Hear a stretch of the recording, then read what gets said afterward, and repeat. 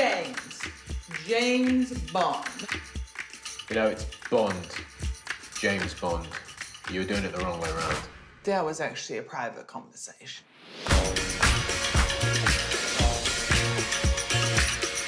Oh my god! How could you not tell me this? I did. What do you do? I'm an actor. Oh, no thanks. Tom Kapoor is a famous actor, and you're a little rat nobody. Harsh, but it's true. I am forever a stain on his sexual history. oh, Tom! You up to anything right now?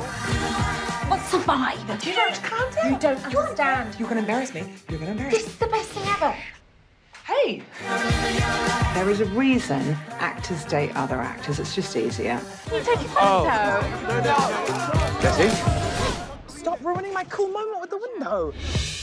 When people see us together, it's like one of those, you know, weird animal friendship shows where you see a Labrador and a hedgehog with friends, and everyone's like, oh, that's not right, that's weird, but okay, if it works for them, great. People don't think that. Obviously, you would say that you're the fucking Labrador. You are genuinely the most stressful person I've ever met.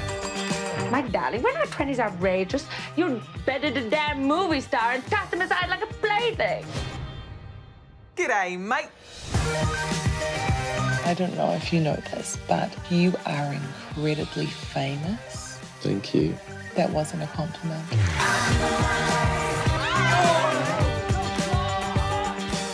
It's like fan fiction, but it's real. I'm not a fan, so. Well, it sounds like you were a fan. Of his day.